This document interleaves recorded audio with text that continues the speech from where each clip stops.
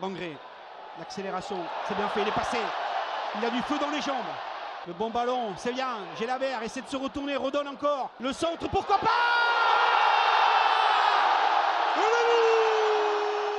Allez, on va passer du coup à ce match PSG-TFC. Grand moment d'Anu encore une fois avec ce double match euh, Stade Toulousain Stade Français avec deux victoires toulousaines en plus. C'était vraiment sympa à suivre, beaucoup de monde, des nouveaux, des, habitués.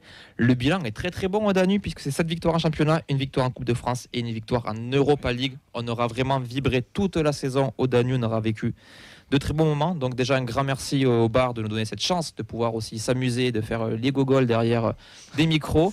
Et un grand merci aussi à tous ceux qui, qui nous rejoignent un peu dans, le délire, qui participent cas, au, au quiz et tout. Beaucoup de chants, beaucoup de rigolades. C'était vraiment un, Beaucoup de blagues de Mehdi. un très bon On moment. a bien rigolé. Sous-côté, le pédit, sous-côté. Ouais, Puis sous alcool aussi. Euh, on avait aussi euh, du coup Cauchy, Antoine Cauchy, qui, donc, qui fait du freestyle de style Pana, qui a proposé une animation. Donc son objectif c'est de récolter des fonds pour participer au championnat du monde qui se déroulera à Copenhague. Donc il a participé avant le match et à la mi-temps. On a pu voir quelques petites vidéos sur nos réseaux sociaux. On en verra d'autres. On a notamment Camille qui a pris un petit pont. Voilà. En gros, il faut, tenir une minute. Il y a deux petits buts qui sont vraiment très proches. Et le petit pont est éliminatoire. Donc, premier match, il a tenu la baraque, il n'a pas pris le petit pont. Il a c'était son objectif et sur le second, il en prend aussi. Mais c'est pas le seul. Je crois que D'ailleurs, ça explique son absence de ce Exactement, soir. à hein. C'est- ça- Sa fierté a été touchée, on l'embrasse. Il a, il a démenti l'information euh, publiquement. il y a des vidéos qui tournent de partout. Une, minute, c'est 5 pas subs et la hein. vidéo sort. Je peux sortir à tout moment. Une minute, c'est vraiment pas facile. Eva, si tu nous écoutes, si elle le fait faire, c'est maintenant. Et euh, on a aussi Dorian, malheureusement, qui a pris un petit point, il me semble. Je sais pas s'il n'y a pas aussi euh, Marius de Media Tolosa. Ah, mais il y en a eu, il y en a eu un paquet, mais bon, bon. Je- Ok. je- J'en ai vu qu'un, bizarrement. C'est parce qu'il pas là ce le, soir. le Iniesta du SNT. hein. Voilà, on l'embrasse. Petit ange, je suis parti trop tôt. Allez, on va revenir quand même sur euh, ce match avec la composition reste Dessler, Ben Costa, Diarra Soiseau, Caceres, Siro et devant Abouklal Dalinga Bo. On a eu des rentrées assez rapides avec Amandi Donoum qui rentre un peu après l'heure de jeu, Magri Mawissa à 79e et Babika à la 87e. Le film du match, Mbappé. Qui s'est passé Mbappé, pardon. Qui marque un but à la 8e minute, Dalinga qui égalise à la 13e, Beau donne l'avantage après l'heure de jeu et Magri dans le temps additionnel. Messieurs, on va commencer avec vos points. Allez, euh, Sacha, ton point. Euh, J'en ai plusieurs. Allez, Non, mais que tu veux. déjà, je, je tiens à dire que c'est un des rares matchs dont j'ai souvenir cette saison où on fait deux mi-temps complètes de haut niveau et où on ne craque pas soit au début, soit à la fin. On affiche vraiment un, beau visage. Et puis, euh, l'absence de Nicolas Hyssen, qui était quand même, euh, qui était quand même euh, une grosse interrogation sur ce match-là. Au final, on a un peu tenu la baraque. Mais je tiens quand même à nuancer en disant qu'on a joué contre un PSG qui pensait déjà à soulever le trophée après le match et qui était un peu en claquette. donc c'est pas, on va pas se jeter des fleurs non plus. Mais ça fait quand même plaisir. Maxence, ton point. Ben, je te rejoins sur euh, Nicolas Hyssen. Je vais aussi euh, cibler euh, la montée en puissance d'un homme. Pour moi, c'est Christian Caceres. Attends. Alors moi, je vais rejoindre euh, Sacha sur le premier point. Pour moi, c'est le match le plus abouti, abouti de la saison. pardon. Euh, J'étais un peu cher avec mon match référence, je l'attendais, je pense l'avoir eu. Euh, et Mais ensuite, tard que jamais, comment dire 12 mai, c'est pas mal. ouais. Exactement. 12 mai, c'est pas mal. Et mon second point, moi, c'est sur la construction des buts. Voilà. J'ai- Je trouve que c'est trois buts qui ont été bien, bien amenés, bien construits, avec un peu de chance sur le dernier but, on y reviendra. Mais euh, voilà, je, je, Ça, c'est bien joué. oui, je voulais le souligner. Ben, à toi. Alors, euh, pour moi, ce sera enfin le banc est décisif avec une stat sur les buteurs qui viennent du banc. Et comme mes deux compères, j'avais très peur de l'absence de Nicolas Hyssen qui, je trouve, tient quand même la baraque. Et finalement, ça a bien tenu, euh, malgré des adversaires. Tu vois, il bosse pas les émissions, il copie sur nous pour ses points. Et non, parce que je pense l'avoir écrit Oui, en premier. Non Tu copies sur nous, mais pas au classement, parce que t'es- un point. bah non, Trois points derrière, Vous, derrière. Edouard, les enfants. Allez, allez. au but de l'année, non hein. Merci. Oui, bah, un peu tard, malheureusement. Tu vois, il faisait la nomination une semaine après. Beau, je pense qu'il a sa place. Bon, on y revient. Ah, il gagne pas, mais nominé pourquoi il est magnifique, Non, je pense pas. Je pense pas. Ah. La, la- la sélection de cette année est quand même très très forte. Bref, Clément, ton point. Et, euh, Tes points. Alors, et on ne pas le que but, Moumbagna n'était pas sélectionné. Ouais. Allez, euh, Micro, alors, Clément, micro vert à couper Euh, alors moi mes points c'était le premier euh, gros match de la paire euh, Caceres-Siro que j'ai affectueusement nommé Cassiero. Euh, je trouve que c'est plutôt une bonne nouvelle pour la, pour la saison prochaine parce qu'ils ont semblé enfin complémentaires, ce qu'on n'avait pas forcément beaucoup vu euh, cette saison, les rares fois où ils avaient joué ensemble. Donc c'est pour moi très positif. Euh, en deuxième point, j'avais le fait bah, qu'on arrive à, à élever de manière significative notre niveau de jeu quand on joue contre une grosse équipe. Euh, ce serait bien qu'on joue contre des grosses équipes tous les week-ends pour jouer comme ça, ce serait sympa. Malheureusement, ce n'est pas le cas. Ah ben c'est pas Montpellier tout le week-end, hein, c'est dommage. hein. Eh ouais, mais je veux pour preuve de, ce- de cette Ouais. élévation du niveau de C'est jeu, le, triste, ouais. le premier but avec une sortie de balle euh, assez incroyable euh, malgré le pressing parisien. Bon, qui était pas non plus, enfin qui était ce qu'il était, hein, mais Eh, il, faut la sor- il faut sortir le ballon et dire. Bah, surtout que des phases de jeu à une ou deux touches de balle cette Mhm. saison. On se rappelle tous, je pense, du match contre Lorient. On n'en a pas beaucoup vu. Et le dernier point, c'était on finit la saison euh, avec des regrets, mais c'est positif, je trouve. Et je vous expliquerai pourquoi. Et quatrième point que je viens de rajouter pour faire chier Ben, Donoum a fait exprès. Non, On en parlera. On en parlera, il va y avoir un gros débat là-dessus. Mais on en euh, parlera, euh, je pense qu'on fera aussi les tops et les flops. Euh, Thomas, je vais te laisser la parole parce qu'en plus, je pourrais vous faire aussi un petit, un petit ressenti de Ouais. ton expérience euh, supporter euh, en déplacement. Voilà, rapidement, si je peux. Euh, je, je fais les points ou pas? Commence d'abord par ton, euh, par ton, avis- par ton, comment t'as vécu ça et après on finira. Ok, donc euh, pour ceux qui ont fait le déplacement, vous savez, les Indians n'étaient pas là au début. Je sais pas si vous êtes au courant, beaucoup de bouchons Ouais. dû, euh, bah, trafic qui était un peu in- intense. Euh, donc on a passé euh, l'échauffement à galérer avec deux trois, deux, deux, trois gars à tenter de lancer des champs. Donc pas beaucoup de soutien en fait, on a senti. Et dès qu'on dès qu'on arrivait, en fait, l'expérience était euh, quasiment comme d'habitude, sauf un petit point. Déjà, le club avait euh, fermé les billets le vendredi. On pensait que c'était complet et donc ça allait être un plaisir. Et finalement, on a vu beaucoup de sièges vides. Alors, est-ce que les gens avaient pris leur place pour finalement ne pas venir Ce qui expliquerait les places vides. Moi, je pense quand même qu'il y avait moyen encore de laisser deux trois places. Et tu vois, on a senti une ambiance qui était bien côté gauche avec les Indians, mais si tu as pris ta place côté droit, et ben, tu as pu assister à des choses comme des gens qui crient Kylian Mbappé Et je On trouve a- ça plutôt, com- plutôt compliqué. On a Jeff Aka sur Twitch qui nous dit euh, J'aimerais qu'on parle de l'accueil de merde au Parc des Princes et Bien comment tu sûr. fais virer comme des malpropres Ouais. après le match. Donc je pense que tu rejoins. Et j'allais euh, en parler immédiatement. Ben, je t'en prie. Euh, j'ai eu une phrase qui, qui m'est arrivée à l'oreille. C'est soit 23h15, soit 3h du matin. Donc, en gros, c'est soit tu te barres maintenant et il comptait, quoi qu'il arrive, faire barrer tout le monde maintenant, Ouais. ou soit bah, t'attendais et je pense qu'il il voulait te faire payer le fait que tu restes. Et, euh, et donc, Tu faisais la fermeture. quoi. ouais, c'est ça, voilà. Je, je pense surtout qu'ils n'ont pas voulu prendre de risque euh, qu'il y ait des supporters adverses qui gâchent la cérémonie de, Hmm, je pense de fin. aussi, ouais. qui, en étant objectif, était quand même très très belle. Oui. Donc euh, je pense que c'était pas forcément une question de aussi belle. Et d'ailleurs, je sais pas si euh, les gens l'ont remarqué, mais on a reçu de la. Alors, c'était de la fumée euh, in- totalement inoffensive, mais bizarrement, il y avait un système de fumée qui s'est évaporé vraiment devant le virage. Donc, est-ce que c'était fait exprès ou est-ce que c'était pour lancer euh, les festivités après? Aucune idée, mais en tout cas, ça nous a gâché euh, une partie de la vue pendant une bonne quinzaine de minutes. quoi. Il y a quand même eu une belle célébration avec les joueurs, en tout cas après la victoire. Oui, alors, c'était incroyable. Déjà, pour revenir même sur l'avant-match, on a eu Omar d'Avanseca qui est venu devant le virage, qui était à Wow. côté, euh, qui, qui nous a glissé quelques mots. Bon, j'étais un peu loin, je n'ai pas pu bien entendre, mais il nous a lâché un petit aller Toulouse, donc ça nous a fait énormément plaisir. Sympa, sympa. Euh, et après le match, ouais, la communion avec, euh, on a vu les images sur Twitter, euh, le petit, Oui. avec Siro. C'était vraiment magique. Tu as, tout le virage qui était très, enfin tout le parcage qui était très heureux de voir ce moment-là. Et euh, d'ailleurs, on pourra pas en parler, mais euh, bizarrement, à un moment, on a tous levé Diarra, les joueurs. Beaucoup de, on lève Diarra, on, on célèbre Diarra. C'est pour la passe D. Hum, J'en suis pas si sûr, Vu malheureusement. la story, euh, C'est pour la sont à la, pas si sûrs, à la ouais. Il n'y a pas hein. que lui, hein, quand tu vois la célébration de Dalinga aussi, tu sens, bon, même si ça on le sait déjà, mais célébrer, ça merde. C'est Plus des adieux quand même. Surtout la célébration d'Irak qui a vraiment été portée par euh, Bama Wissa. Après, il fait une sacrée fin. Fred, on, on- Ouais. on avait mis en point, mais il fait une très très bonne fin de saison. Et voilà, c'était à peu près l'expérience. Beaucoup de points positifs quand même. Tu gagnes, tu prends du plaisir dans le parcage. Mm. Mais des points négatifs, surtout, ouais, il a raison. Moi, ça m'a pas trop choqué, mais c'est vrai que quand tu vois le traitement, euh, c'est soit 23h15, soit 3h du matin, bah, c'est- terrible. Ça gâche un peu la fête, Ouais. quoi. C'est pas comme si vous veniez pas d'à côté, quoi. Je vais pas te mentir, je veux pas revenir sur mon Ça coup de gueule de. TFC Liverpool, mais moi, dès que le match s'est fini, euh, on m'a dit il faut sortir. Et j'étais en virage euh, revo. hein, donc, euh, Oui. Après, ça se fait sur beaucoup. C'est euh, peut-être pas plus mal. ouais, euh, Non, mais pour, les, pour les cérémonies de. Oui, pour le cérémonie Non, d'accord. mais- non, mais mais sur un par exemple, ça. le dernier encore. match, quand il y avait eu le feu d'artifice, c'était Lens ou Auxerre. Je sais pas s'ils avaient Bah, dû. euh, L'an dernier, ils avaient dû faire sortir aussi tout le monde. oui, et, et, que ça se fait partout. tu- C'est pas et, les Alors- pour la Coupe de France aussi, je pense. Mais voilà, Moi, je vais dire l'inverse. Je veux dire, on en parlait tout à l'heure en intro. Les... Bon, après, c'est c'est pas le même niveau, quoi. Mais le match à Angers pour le maintien, on s'est fadé la cérémonie euh, de départ à la retraite de trois joueurs, donc trois célébrations puis feu d'artifice. On ça mettait un tout peu le long. le fait qu'il y ait les Toulousains qui restent. Ah bah, et puis ça leur a cassé les couilles, surtout qu'on soit là à chanter Ah, avec tu tous les joueurs et qu'il y ait personne qui en ait rien à foutre de tout le reste. Mais, euh, oui, mais reste moi, je trouve y a pas, ils ont pas trouvé le juste milieu. C'est soit tu fais barrer tout le monde, tu dis bon bah pour des questions de sécurité, euh, tout le monde s'en va, ou soit tu, toi, soit t'attends. Et dans ces cas-là, bah d'accord, nous ça nous fait plaisir de, enfin, ça, ça ne fait pas plaisir, mais bon, c'est c'est- comme l'a dit Oxen, c'était quand même un beau spectacle.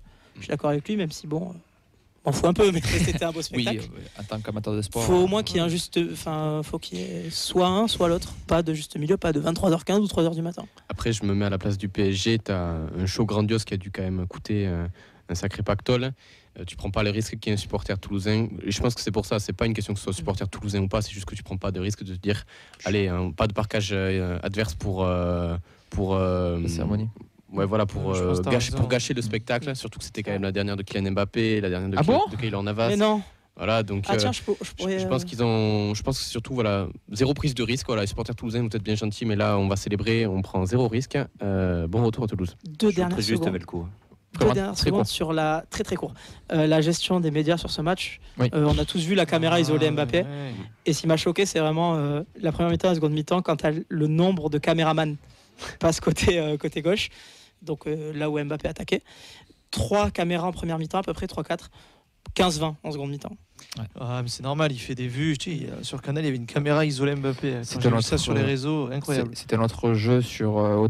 On buvait une gorgée chaque fois qu'il y a un gros pass sur Mbappé, mais qui n'était pas sportif, pas juste qu'il a le ballon dans les pieds. Quoi. Mais dès qu'il y a un gros plan hors contexte, euh, ben, ça, il y a des gorgées qui sont tombées. On va pas se mentir. Allez, il doit y avoir beaucoup d'images de Mbappé qui fait un match vraiment pas ouf. Hein. Je sais Oui. pas ce qu'ils vont faire de ces images, mais 20 caméras sur lui. euh. Ouais. Les les a envoyés au Real Madrid. Mhm. Rapidement, tes points du coup sur le sportif. La défense, et ça va avec euh, ce que vient de dire Clément. Mbappé, on l'a pas vu du match. À part sur le but, qui est une, une erreur très légère, mais une erreur d'appréciation de Costa. On l'a pas vu du match. Il s'est fait museler complètement. À part sa frappe euh, qui passe juste à côté, Ouais. rien. Et euh, c'est vrai que j'avais mis que ça comme point, mais je rejoins Oxen sur Caceres, qui pour et je trouve tu as été, euh, t'as- t'as été un peu dur. Pour moi, il sort une pure masterclass. Genre, j'avais même pas pensé sur. La Je jeunesse. suis désolé, mais il sort une pure masterclass. Monter en puissance, c'est bien aussi. C'est plus nuancé. C'est peut-être je vais haut, mais moi c'était une pure masterclass. Je suis assez d'accord.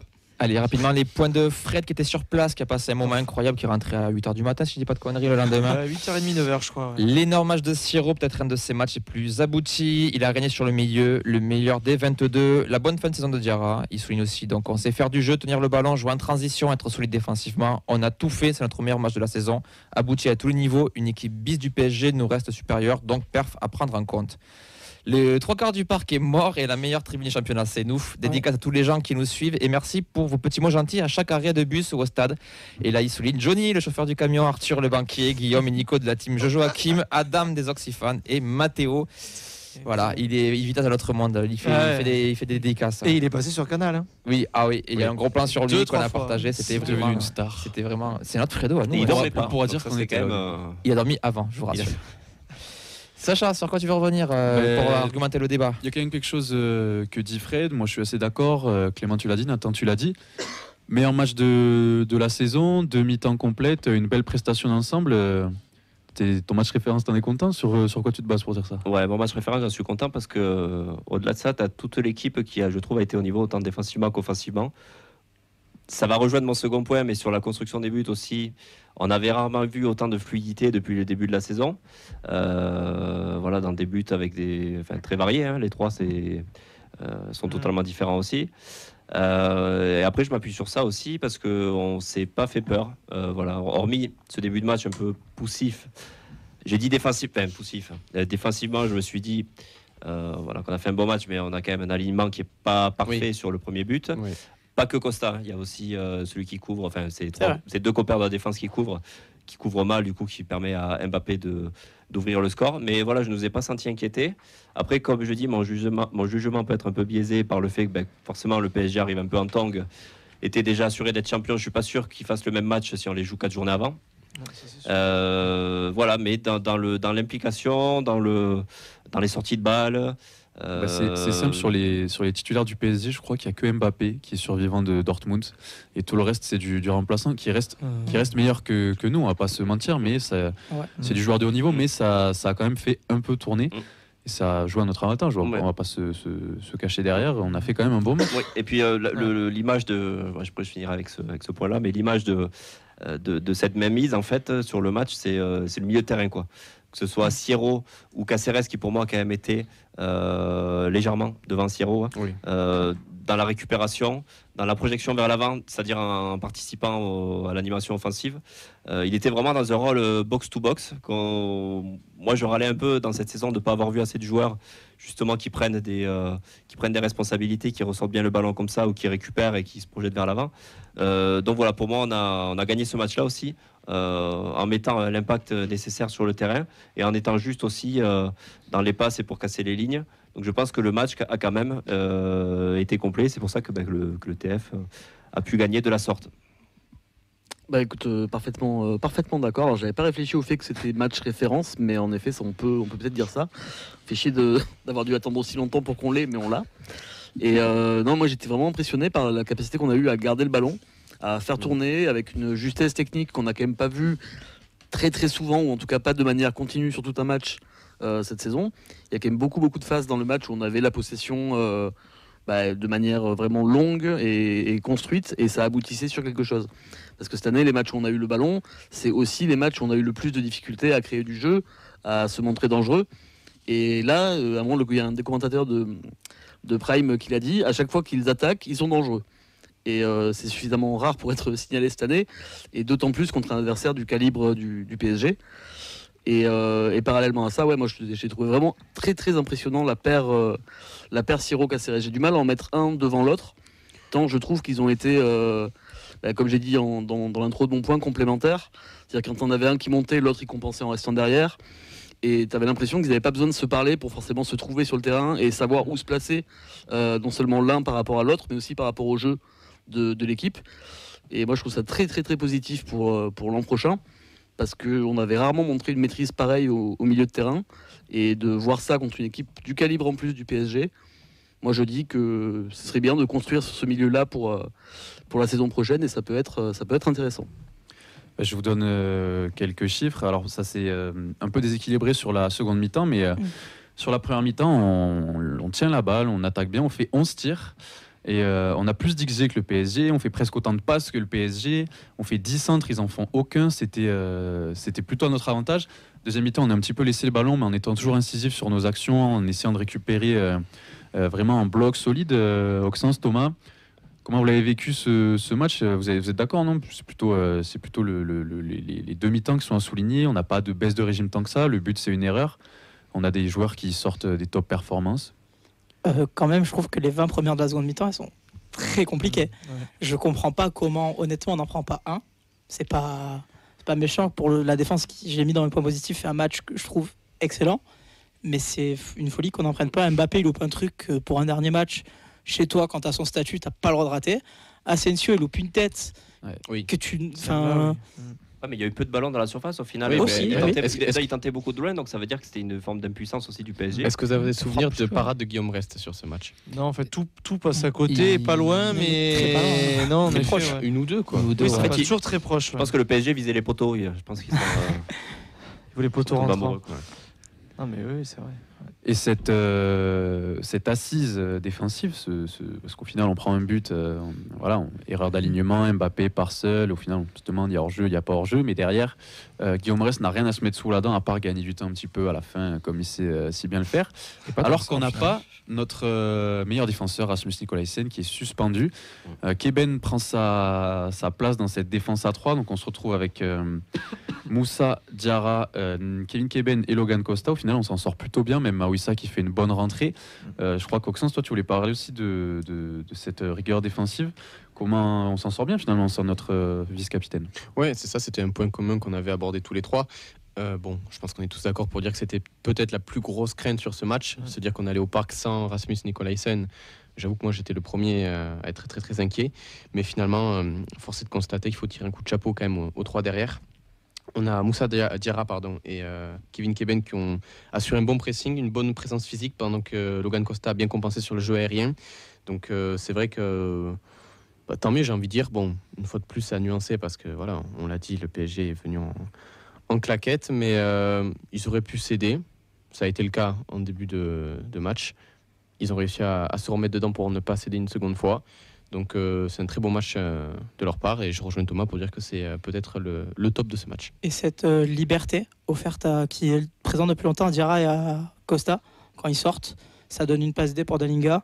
Ça donne des situations, pardon, pour Euh, ça donne des situations intéressantes pour Costa. Et c'est ainsi un bon point pour Carles qui a trouvé ce, ce petit truc de réussir à offrir une liberté à Costa et à Dira. Même euh, on peut, aller, on peut aller plus loin, puisque dans le 11 type de la journée, on a Dira qui, qui est cité Ouais. aussi, ben, on a aussi Novel, bien sûr. Ouais.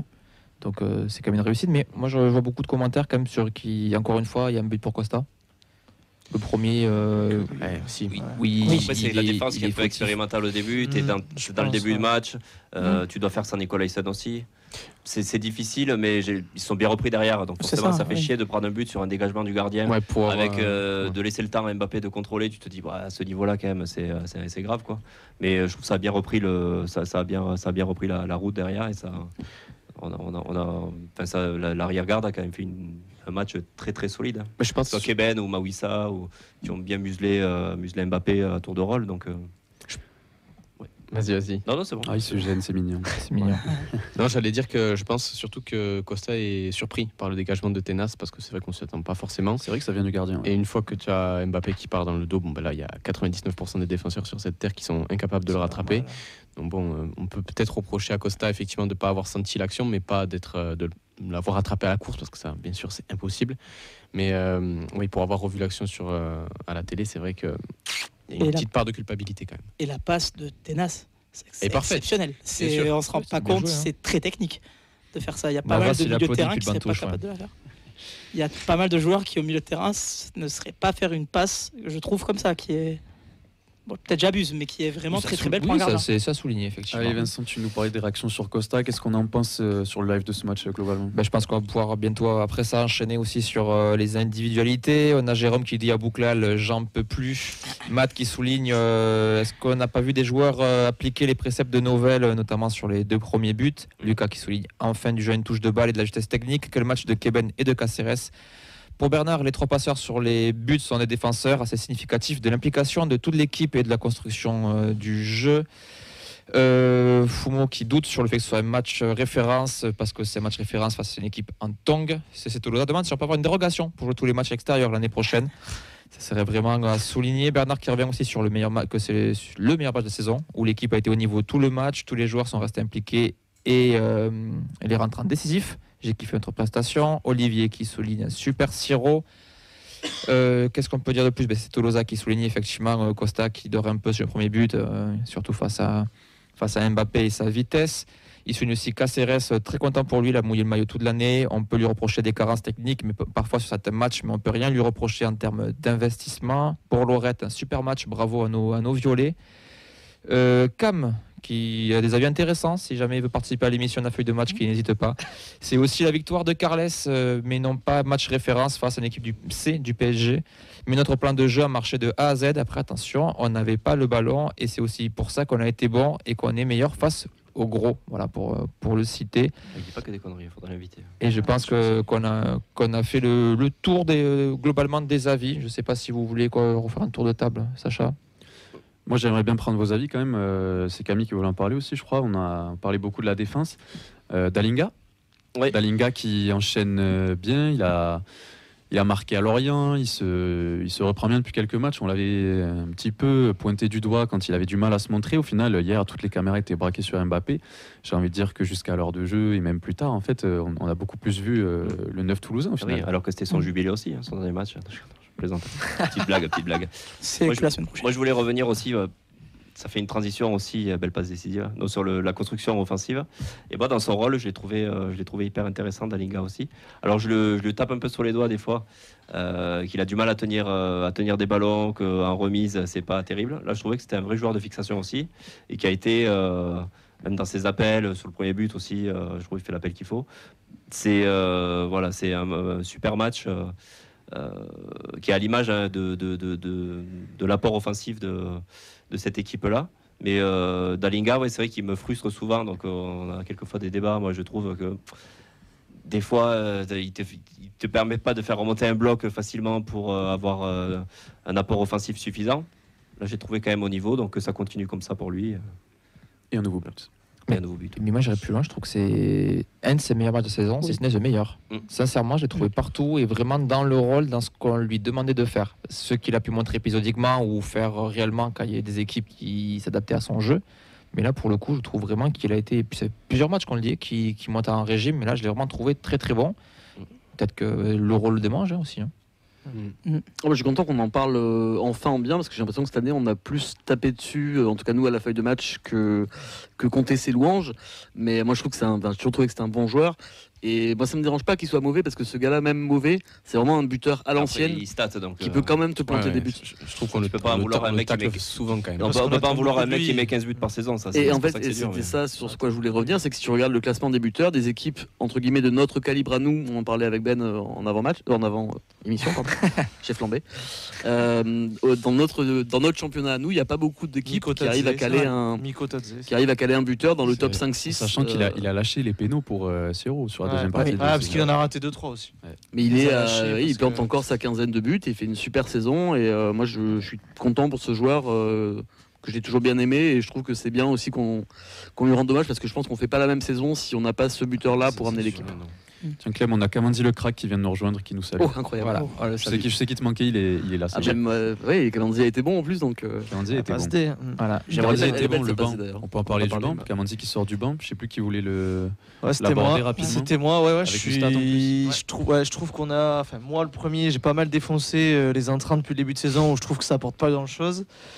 Je trouve qu'à chaque fois que des gens rentrent, ça change pas le match. Soit c'est des. Je sais plus, je crois que c'était Marseille où les rentrants te mettent complètement dedans. Ouais, je trouve qu'il y a beaucoup, beaucoup de matchs comme ça. Et je trouve finalement sur ce match-là, les entrants, ils ont amené quelque chose, même Donum.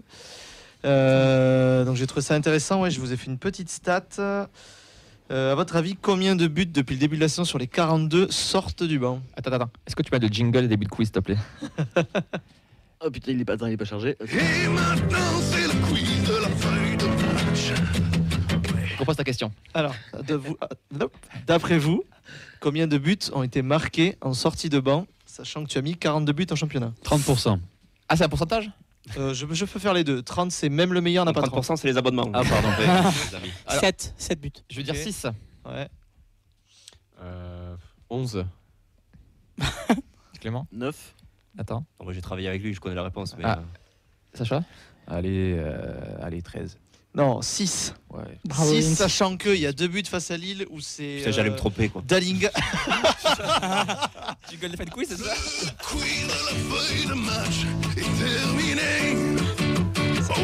Merci que à sur tous les d'avoir suivi 6, l'émission. il y a, il y a- ouais, merci d'avoir participé. Sachant que sur les 6, il y en a deux où c'est Dalinga Siro qui rentre à la mi-temps. Et j'ai fait également la stat sur toute la Ligue 1. Celui qui a le plus de buts sortis de banc, c'est Lens avec 26%. Et le moins, c'est Clermont avec 8. Clermont, c'est 2 buts sur 26 en sortie de banc. Et Lens, euh, où on voit qu'ils ont un effectif assez homogène avec 11. Et Lens, c'est 90% des buts de Wesley Saïd euh, quand il rentre. Quasiment, ouais, ouais. Il y a un peu tout génie. Donc, Et Wai, peut-être, non? Et Wai aussi. Non, non, ouais, c'est si, si, Wai aussi. T'embrasses. Et on voit que Paris, où Louis, euh, Luis Enrique ne sait pas qu'il a le droit à 5 changements, il pense qu'il a le droit à 2. Ouais. Ils sont seulement à 11 sur 77. Donc, euh, voilà. Merci d'avoir donc bon, bossé. voilà. Du coup, le TEF, ouais, je, trouve, je trouvais que il- les sorties de banc ne marquent pas beaucoup, donc c'était bien d'en profiter. Et bravo à Magri, surtout que les trois rentrants sont Bravo. sur l'action. Content pour Magri. Ouais, ça fait plaisir. ouais. besoin. ouais. Parce que quand j'ai fait la stat, du coup, j'ai lu tous les buts du TEF et il a mis quelques buts en début de saison quand Oui, même. oui, oui. Et le port, il a un petit trou d'air, donc je trouve ça bien pour lui. Et on a senti que même sur sa célébration, euh, ça faisait du bien au moral. Donum, il a remplacé qui? Parce qu'il y a- il manquait un mec, je crois, à droite. remplacé Beau blessé Non, ou Abouklal Ah, ah, quoi Abouklal. Très rapidement. j'en ai assez parlé. Rapidement. Abouklal, match compliqué, mais pas son pire match non plus. en Ouais, soi, alors je hein. trouve ça dommage parce qu'il est quand même face à Zaguet. Et, Ouais. et pas non plus, ça doit être son quatrième match en Ligue 1. Tu vois, je sais pas. Je... Puis en fait, le problème, c'est que, oui, le problème, c'est qu'en fait, il souffre d'une comparaison avec Beau. Ou que Beau, je trouve qu'il porte quand même ta seconde partie de saison offensivement.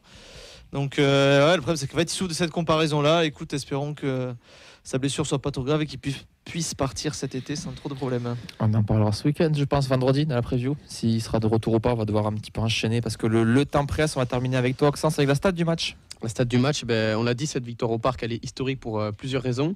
Déjà, c'est le quatrième succès de rang à l'extérieur, c'est un record dans l'histoire du club. C'est aussi trois points de plus face au PSG. Le TFC termine la saison en Ligue 1 sans avoir perdu contre le PSG. C'est quand même assez rare pour être souligné. On est les seuls avec Nice. Voilà.